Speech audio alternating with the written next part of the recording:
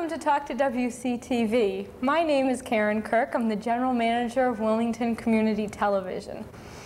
Talk to WCTV is a live call-in program every Wednesday at 6 p.m. I invite you viewers at home to call in with your questions and comments about access cable television. Wilmington Community Television is your cable station.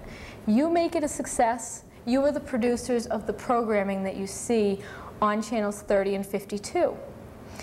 Please call if you're interested in access cable television or programming or anything else that you see on our channels, please call in. The number tonight is 657-4066.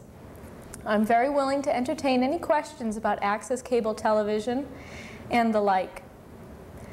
The people who are involved at Wilmington Community Television are all residents of Wilmington or work in Wilmington and decided to become involved with access cable television. WCTV is the local cable studio located at the basement of the Swain School. Over the past weeks, you've seen a lot of our programming, to be sure. Uh, we've had school committee, we've had selectmen meeting, we've had the church service at Wilmington United Methodist, We've had lots and lots of basketball, which is wonderful.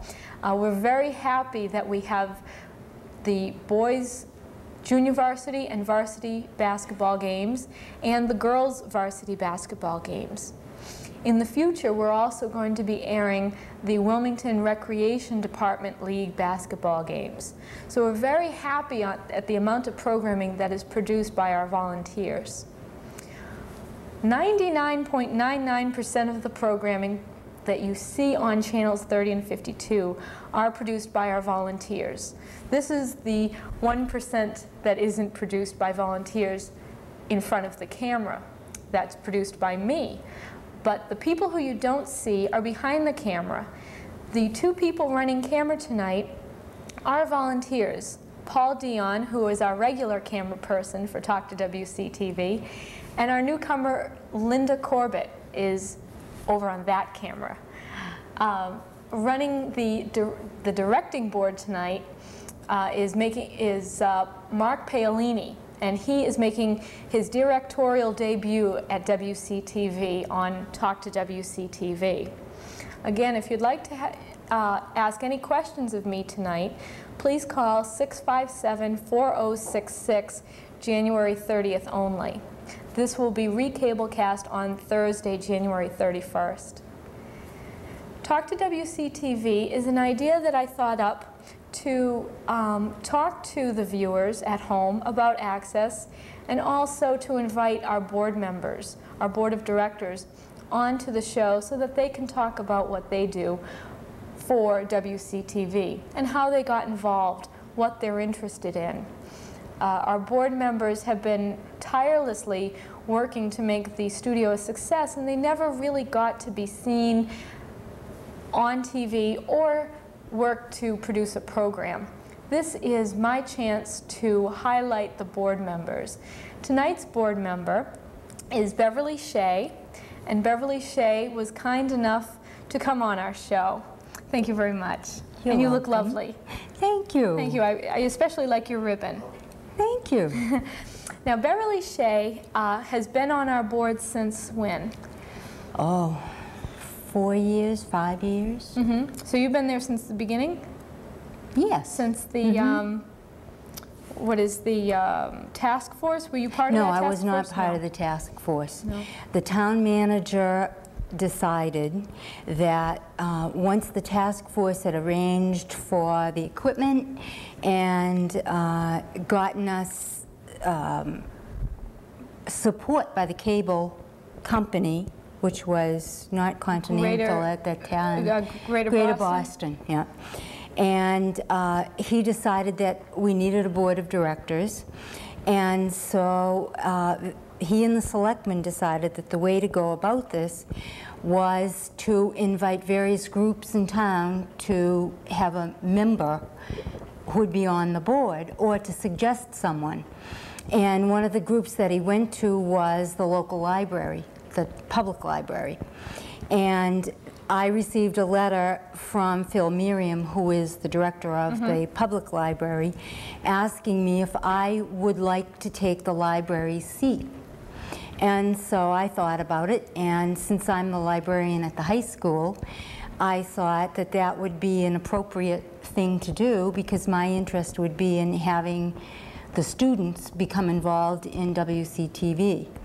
Actually, at that time, we didn't have any call letters, we didn't have anything. The studio, the studio. Yeah. So, um, and we didn't have a place for the studio at that time either. So um, I agreed to do it, and I received a letter from the town manager uh, saying that I had been approved. and we met at the town hall on Glen Road. And uh, Ed Rideout was our first president, and he was a man from town who was very, very interested in cable TV and knew a lot about it, which was nice because even though I am the librarian at the high school, I am a print person, not a media person. And as such, uh, was just getting my feet wet with any kind of technology. Uh, we have a teacher at the high school, Suzette Hall, who teaches cable and who got a grant for some equipment and who has students who use the equipment and so on. But I was never involved with that in any way other than um, a spectator, shall we say. I was once interviewed by and now, them. And now you're secondly interviewed. Yes, yes, this is my second time to be interviewed. What would your goal be uh, regarding the high school students and WCTV? What would your goal be in the interaction between the two?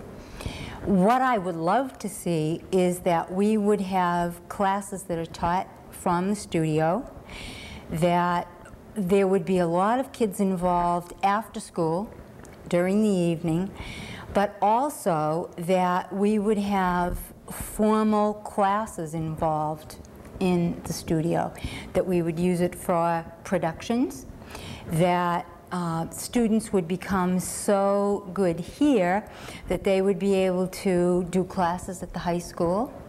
Eventually, um, we would we are not wired within the building the way the West Intermediate School is. Uh, it would be nice if at some time we could actually have classes broadcast within the building to every, or perhaps put on a news show. We should, like today, for example. What better time um, when we're at war and so much is going on to have a student news show mm-hmm. that the kids would produce and everybody in the school would hear it, maybe as part of the bulletin in the morning. The bulletin would be all on TV. And as part of that, we would have a news update. Mm-hmm. Be local news, national news, and world news. Mm-hmm. So what we could do is we could have a, say, a half-hour talk show um, or a half-hour news program produced by high school students. The high school students could run the cameras, direct the show, be in front of the camera, and they could produce the whole show as a, a class credit. Oh, absolutely. And since we already have precedent for it because we have a class where they're receiving credit, this would be expanded to include more students. Mm-hmm. We need flexibility in the schedule, which means that we can't afford to lose an awful lot more teachers because every time you lose teachers, then you lose flexibility in the schedule, and then you're back to reading and writing and arithmetic. Mm-hmm. So that's a consideration. You'd need the flexibility in the teacher's schedule to have um, a, a class about cable, cable television. Um, it would be a luxury to have television taught to the students, but with this day and age, you know, they go off to college and other students are already 10 steps ahead of them because a lot of the students in different towns have already had this, the experience at their local cable studio. Oh, sure. You figure um, Burlington has had a cable TV program in the schools I don't know how long, but I know that I went to uh, a workshop with their then director, who has since retired, and it must have been 10 years ago. So they had cable TV for students, and they were taking the courses at Burlington High School then. Now, the cable studio in Wil in Burlington is in the high school. Mm-hmm. You're right, right. So that, that offers um, a chance for the students just to walk down the hall. But here, we're right across the street. You know, so that we're in a prime location to get the students also involved. Um, if any of the students who are watching, whether they're from Wilmington High School or any of the junior highs, or some of the elementary schools, um, if there are some students watching and have comments about how to get involved, have questions about what they can do at the cable studio, please call tonight at 657-4066. What I'm trying to do is I am um, holding workshops for the teachers so that teachers can learn from me and in turn videotape some of the things that are happening in the schools. I don't know what's really happening over at the high school, but I'm sure that there's a lot of programs that are being missed. Um, kids learning Spanish. What a wonderful way to know if you're speaking Spanish correctly than to get videotaped and then watch yourself and hear yourself if, if, if you sound sort of bilingual. Um, that is a really a good use for using cable television or some camcorders in the high school or in the other schools as well. Um, some of you, a couple of weeks ago, may have seen our Talk to WCTV show with some students from the Woburn Street School, Mrs. Arciero's class. We had four students here talking about manatees. Now, do you know what manatees are? Yes. Yeah, I didn't know what manatees were. Mm-hmm. Um, so we had four of the students come in and talk to me on Talk to WCTV. Um, and we talked about manatees and the, and the kids were truly interested in television. They were excited about the lights, about the cameras. Um, they were really excited and I think we can keep that excitement going with the elementary schools and the junior highs and the high school. I think, and I agree with you, the high school is underutilized, um, the resources there of the kids coming over. Um, what other ideas do you have using the kids? Um, what type of programs would you like to see? Well, I definitely would like to see more coverage of different kinds of sports. And there again, it, it kind of depends on the interest of the students who are doing the programming, what we get. And uh, Paul Dion has been wonderful about coming over and filming sports events. But in, and his son does wonderful commentary Yep. on the sports events. But wouldn't it be nice to have a student do it who knew half of the kids on the floor and could easily find out who the rest of them are? And suddenly we would have uh, kids involved, more involved with the sports program because as spectators they're they're making an active role they're taking an active role and not just sitting watching mm-hmm. the thing going on.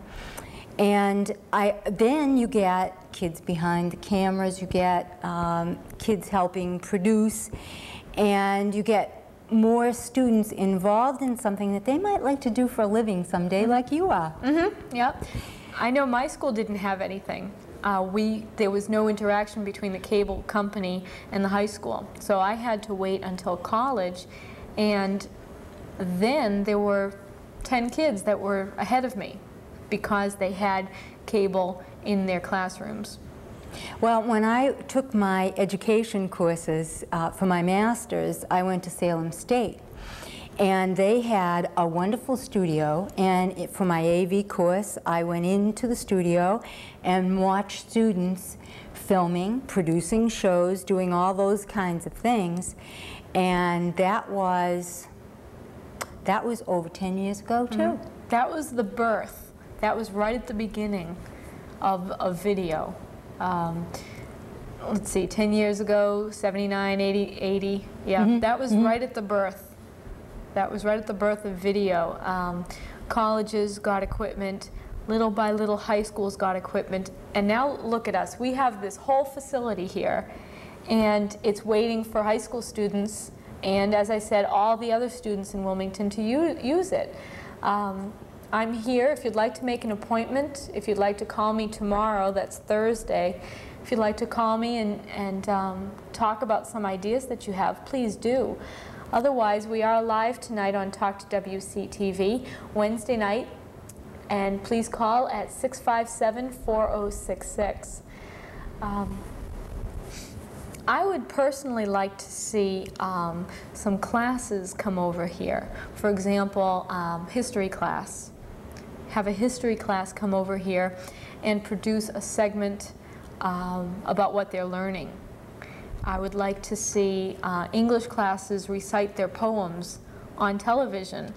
Uh, that would not only help with our programming, which we love to get programming, but it would also help the kids see how they say poetry because you're not supposed to say poetry going roses are red violets you're supposed to say it in sentence form or something um, i think that if if a poetry class came in read their poems over the air they could practice on how to recite poetry and they could also get the experience of being in front of a camera um, and being in front of an audience television is a different kind of audience because you're really not talking to anybody but a camera, but it, it gives the students some experience.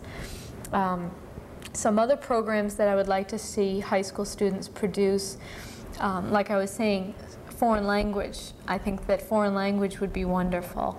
Um, one program that we had in my hometown was one of the teachers came over and she spoke Spanish very, very simplistically. Well, we were having a Spanish exchange with a, a girl coming over, and my mother tuned in every night and learned Spanish off the cable channel because one of the teachers taught it over the air. Sure, yeah. that's marvelous. Yeah. And you know, while you were talking, I was thinking that students are really much easier with the medium than older people like me. And me. Because they've grown up with it. Mm -hmm. We had an experience, oh, must have been 15 years ago. It was called GSA, Guided Self-Analysis. And it was to teach teachers how to teach better. And it involved a uh, coordinator who came in and talked to us about uh, proper teaching technique and the fact that you asked questions on a simplistic level like fact questions and then you asked for thought questions. and the idea was, of course, that you were supposed to work the class up from your basic fact questions up to your lofty and abstract questions. And you were also supposed not to shut out any part of the class. And so part of this whole thing was eventually that you taught on camera. And they taught us how to take the camera into the classroom and set it up in the corner of the room and focus it so that we would be within the range of the camera. And then we would tape ourselves. Well, all of us were really gung-ho and enthusiastic about this until it came time to actually sign out that camera and actually do it. Now, no one was going to see us do this but the class that we were teaching. Mm -hmm. And we, it was into the spring. We were very comfortable with our classes. And in my own case, I had probably been teaching for 10 years at that point. And yet, I remember that I was so scared to do that. And I kept watching the camera, and it was like, I learned more from watching that tape when I finally confronted it it took me a long time. I kept thinking, oh, my neck is skinny, and my, I'm old, and I talk with my hands. and it was, the kids used to, to tell me that I couldn't talk if I had my hands tied down. and that was a wonderful experience because I found out that they were right. I found out the kinds of expressions that I repeat and those little kinds of housekeeping things. But I also found out that I was going with the brighter students in the class, that it trained me in my questioning techniques to draw forth the answers from the kids instead of giving them the answers. Mm-hmm. Teachers are great at losing patience and giving the kids the answers. and I bring all of that up because I'm thinking that we could do that too. Mm-hmm. It wouldn't be a very difficult thing to do at all. And I think it would be a fun thing to do, and I think it would be a profitable thing to do.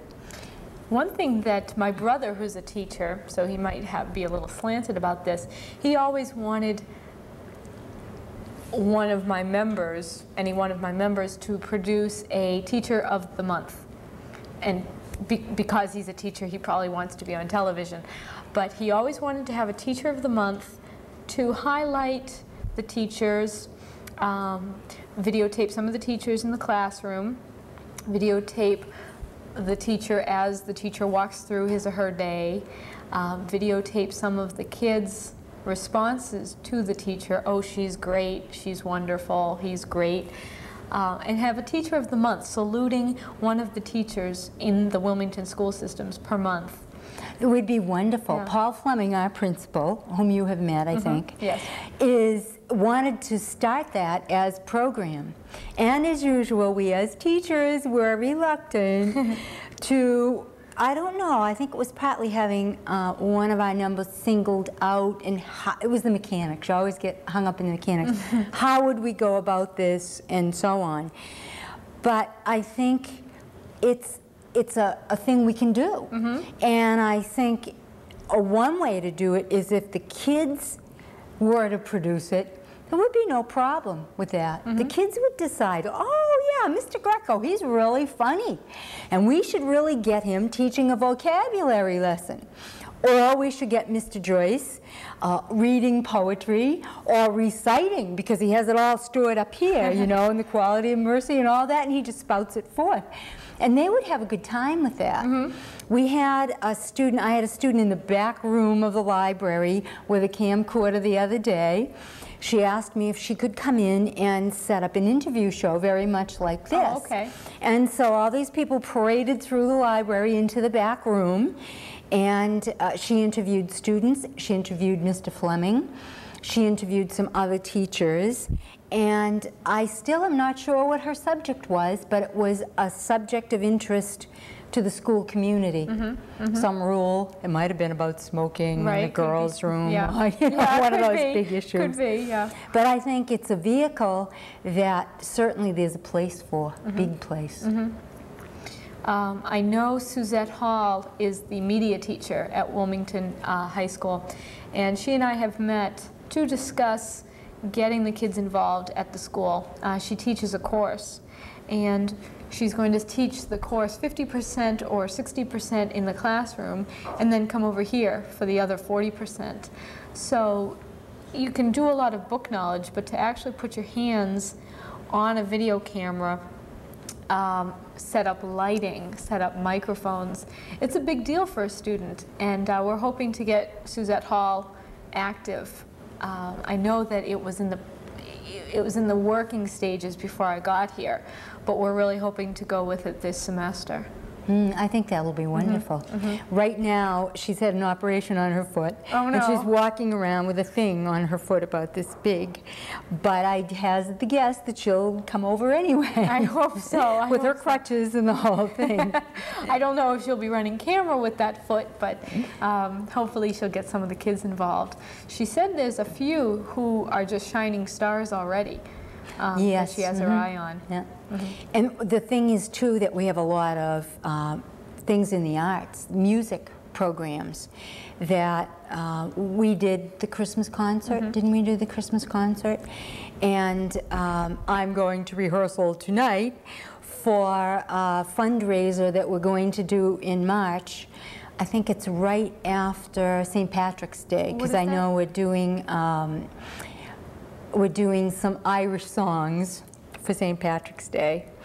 And uh, as you may know, have you ever seen the Wilmington High School auditorium? It, it's a black hole. Yes, very good, very good, exactly. So Ms. Khalil, who is the director of the Fine and Performing Arts program for the Wilmington Public Schools, has decided that she can't wait any longer for people to raise money, and especially in this fiscal crisis that we are in. Uh, she realizes that the money may not be forthcoming. So she has launched one of her typical fundraising campaigns. She um, has put on two musicals in past years to raise money for the scholarship fund. But this is the first thing she's ever done that's this spectacular. And it's going to be a whole week of performances. And uh, I'm in the uh, what do we call the alumni chorus. Oh, well, that, that's diplomatic. And that's made up of uh, teachers, staff. I was involved in Pushcarts, which was uh, the last musical that she and Dom Grazia, who used to be here in the music department, that they did. And so I'm an alumnus of that, alumna of that. And um, we have all kinds of students who are alumni who are in the chorus. We have an alumni band, and uh, former students from the high school have gone through all of the yearbooks. Oh, we have, We have a, a call. call. This is your first call. okay. Hello, caller. You're live on Talk to WCTV. Do you have a question? Hello, caller. No, I guess your caller got shy. Aw. Oh, did you tell your son to call? No, but I should have. Please, what's what's his name? John, John, please call. call mommy. Do you have a question, John, about access cable television? You know the number. It's Wednesday night, January 30th. Please call 657-4066. We're in our last remaining minutes here. Um, our director of, of Days Gone By, Mark Blair, just got a job, so I'd like to congratulate Mark. Oh, wonderful. Yeah, so that's why he's not here tonight. And he was scheduled to be our guest next week. So I don't know if we'll have a guest next week. For those of you who are constant viewers of Talk to WCTV, uh, you may remember last week when I spoke for 30 minutes for uh, just straight. Um, n- next week may be another one of those stints. So I make a, an appeal to the board members who haven't been on Talk to WCTV yet. If any board member would like to be on Talk to WCTV again, please feel free to give me a call. Hello, you're live on Talk to WCTV. Do you have a question? Um, yes. Hi, Karen. Hi. I'd just like to know if there's going to be uh, maybe a live broadcasting program in the high school. If Mrs. Shea would be running something like that, or if Oh. at all possible. Okay, I think we are hooked up in the auditorium. Are there any other places in the high school? The library. The library. Um, we have cable connections in some of the classrooms, so we probably could broadcast out of those too.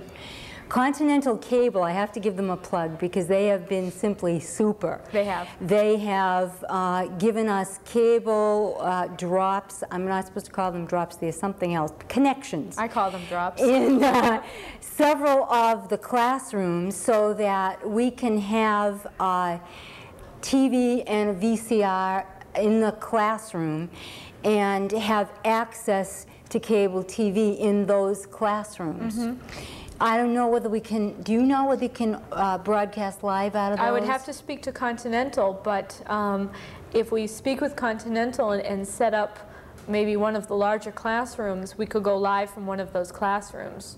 Um, do you have an idea of a show from one of the classrooms, caller? Um, probably maybe something that has to do with like a, a news broadcast or so forth, something like that, to uh, you know, school news. Yeah. To that effect. Yeah, it'll probably be in the in the media department. Yeah. Right. Okay. Thanks for your call. Thank you. Okay, we're going to wrap up tonight's show. Uh, join us next week when we're not sure who our guest will be. Oh, one quick call. Hello, you're live on Talk to WCTV. Just wanted to say, probably people haven't called because it's been such a very interesting half hour. I think it's the best one that you've had since you've gone live. Thank you very much. You're welcome. Bye-bye. Okay, we're going to wrap up tonight's show, and um, tonight's show, as always, is sponsored in part by AAA Cartel Cleaning Company. Thank you, Bev Shea. And thank you, view- viewers, for your interest. Thank you and good night. Join us next week, next Wednesday at 6 p.m. on Talk to WCTV. For Karen Kirk and the rest of the WCTV team, thank you and good night.